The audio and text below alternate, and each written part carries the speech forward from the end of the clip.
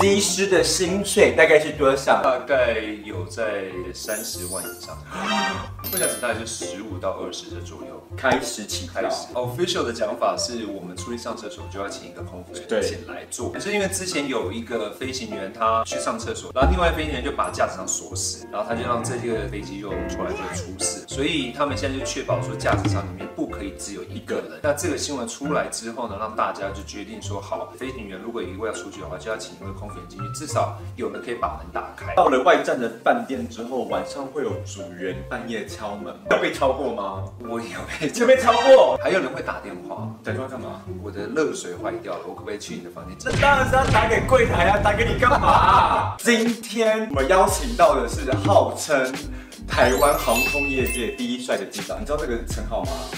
你应该。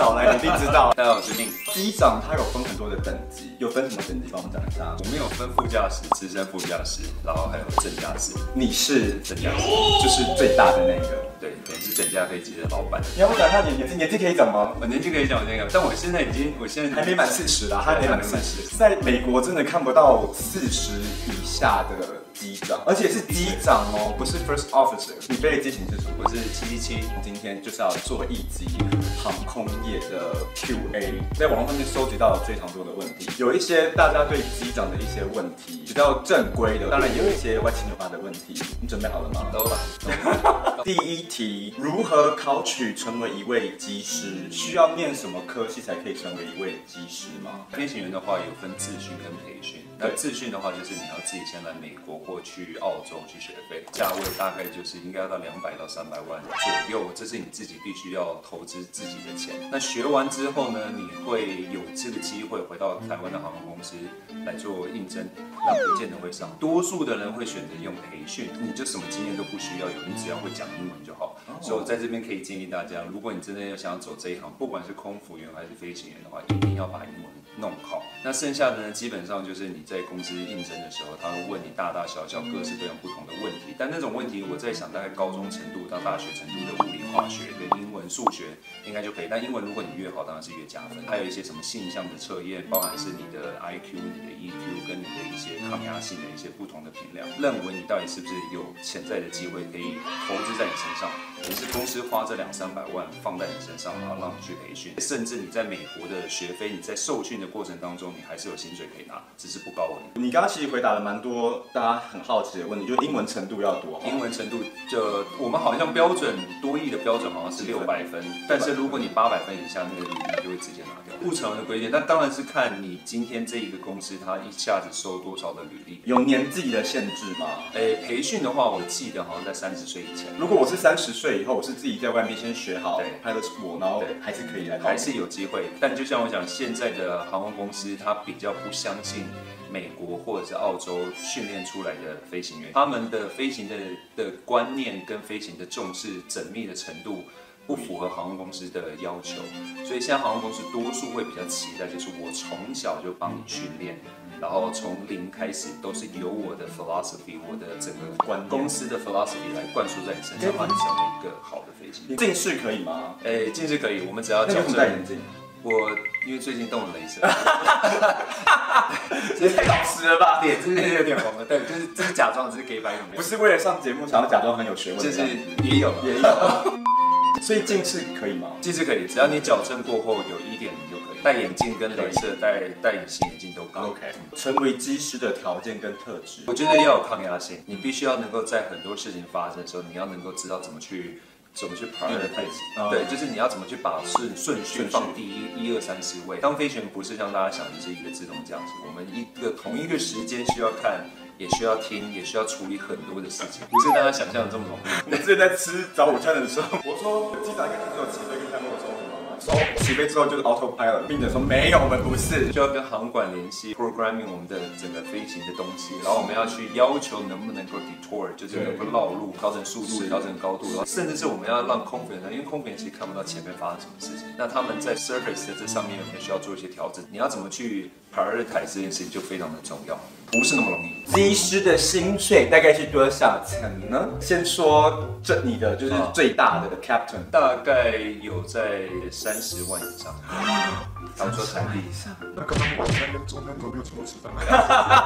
开玩笑，来者是客，当然是我们负责。美国的话就会高，是我现在拿两倍到三倍，但但当然六十起跳，但因为生活费太高了，所以那你们会依照年资，每一年都会越来越多金元，你们也会这样，所以最少就是三十起跳。对，大家是不是要赶紧去考，先把英文念好？大家，但那个是正驾驶，副驾驶就好，副驾驶呢？副驾驶大概就十五到二十的左右，开始起跳。工作上有没有什么禁忌？医护人员的话，他们就会说医院里面他们不能吃凤梨，因为会越来越旺，人就越来越多来。这个人有说是不是机长就不能吃坠机啊，或是有一些什么任何的禁忌？坠机就是因为它是 airplane crash 的谐音嘛，所以我们不会有，但是我们就变把它变成酒酿鸡就可以。就是说哦，我们今天我们吃的这个是酒酿鸡，不是坠机，但是一样的东西。对对对对对。但我们的确有些禁忌，是我跟副驾驶不能是同一个食物。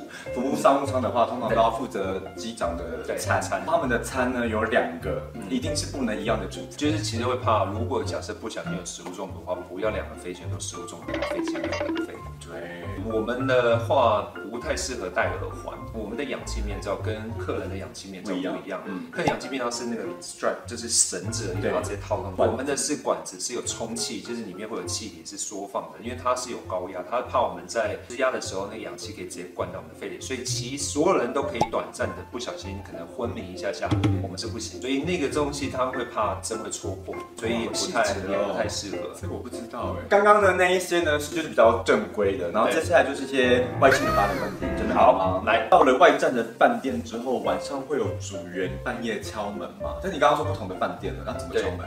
哎，不同的饭店当然就敲不了。那如果同一个饭店呢？同一个饭店的话，那当然就有机会。怎么敲？你有被敲过吗？我有被，有被敲过。男生还是女生啊？女生。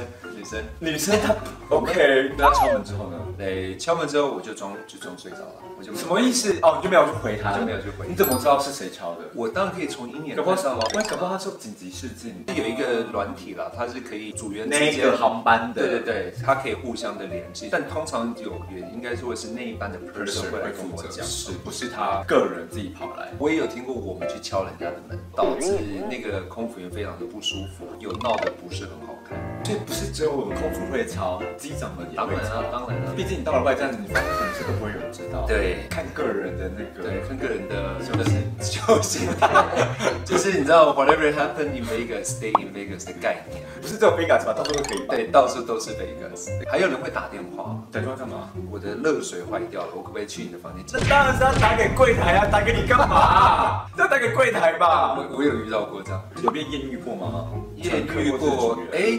一一定有啊，一一定有啊，因为他是做商务舱的客人，我们飞行员用的厕所跟商务舱用的厕所是一样的，所以我就在那个厕所碰到那个女生，碰了好几次，好几次，怎么会好几次？我刚好出来，她刚好就在门口。我们不是用那个 boarding pass 吗？他的 boarding pass 它上面就会写，他就写给刚刚偶遇的那个飞行员，就是高兴认识你，但没有机会。没有认识啊。对，但他说 It was nice meeting you，然后 然后他说我是住在这边，所以如果你有这边有 layover 的话，这是我的 number，然后我们可以 hang out。飞到哪里？我记得好像是飞新加坡还是飞哪里的？漂亮吗？是男的，没有是女的，是女的。哦，但但是但不。就我帮你来，就 OK。真的可以边开飞机边喝酒吗？然后跟空姐聊天吗？然后点台，你可以点台吗？应该这么讲，official 的讲法是我们出去上厕所就要请一个空服员进来坐。你要讲说为什么吗？可是因为之前有一个飞行员他去上厕所，只有两个飞行员嘛，其中一个飞行员去上厕所，然后另外飞行员就把驾驶舱锁死，然后他就让这个飞机又出来就出事，所以他们现在就确保说驾驶舱里面不可以只有一个人。对，因为那个人他知道怎么把驾驶舱反锁，他就用这个飞机就做了很多很不好的，就是一件很不好的事情，所以整架飞机都没了。那这个新闻出来之后呢，让大家就决定说，好，飞行员如果一位要出去的话，就要请一位空服员进去，至少有人可以把门打开。对，所以让之类。至于能不能点台，我们当然不会啦。但是如果你真的有认识的，譬如说像我的机长，如果有认识的，我说，哎，那找找那个 L4 或者是谁，所以可以指明说要找谁。对，通常是不会。但如果你真的有认识的话，你讲其实也没有人说什么，因为我就是机长。有没有跟空姐或空少谈过恋爱？没有，但有跟飞行员谈过。还在一起吗？没有没有，但是你觉得你推吗？推荐吗？推啊，为什么推？因为下一题也有，他说机长偏好跟组员在一起吗？还是跟不同行业比较好？上期那一段跟机长的怎么样？很好啊。那为什么会分手？就后来某些状况不适合，私人的问题。对私人的问题就分了。但我是很推的，因为有的时候我很累，但另外一半其实不知道我到底在累什么。所以像有的时候我回到家，我一睡就睡十二个小时。我们很多时候的疲劳不是一般可以想象，疲劳不然就是哎就是 auto pilot 嘛，然后就出去闹来就可以到处玩。但其实真的没那么容易，同行的人就会知道说哦我到底在累什么。带他飞哪里？我下一趟是飞阿姆斯特丹，就是那个红灯区跟可以地方嘛？你美国现在也可以啊，你可以到外就可以。嗯不行。当地合法也不行，就算是当地合法，你在当地用，我们回来都还是会要钱。你们也有那个降落照要钱，对不对？我们也有。你降落到台北之后，他就会 surprise 你，就是说好，那你在这里要去尿尿，会拿蛋糕吗？surprise，拿蛋糕跟拿个 surprise，那选中了这样子，他就给你一个 container，然后就在你要去尿尿了。我说哈，检测你有没有有没有用一些你不该用该用的东西就什么东西都可以测得到。他什么时候抓你都不知道。前也有听说说他没有监视器的时候，比如说我跟你嘛，对那我可能用一些有可能会两个人被检抽检。对，我们就就就是整个飞行都会。我们家好像空服员没有，你们不会是演空服员我？们好像没有，你们不会会。我们是空服员也会耶。九测全部都会，但是如果是要检的话，好像只有针对前场，就是飞行员。那空服员就可以去。诶，如果真的要的对，话因为，或者是空服员有，我其实不知道。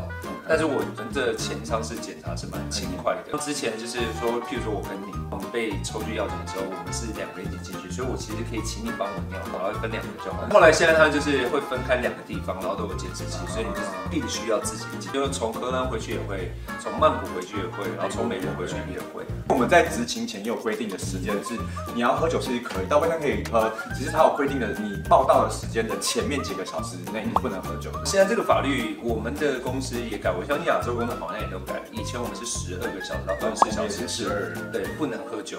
但是因为很多人讲说十二个小时，哎，我我超过这个 range，所以我可以大喝，所以 shot 一直来，体内还是没有办法代谢掉的。所以你在执行前，如果你有车的话，它是必须要百分之百的零，多一点点都不行，就是直接直接是被 fire 掉，你没有任何的 second chance。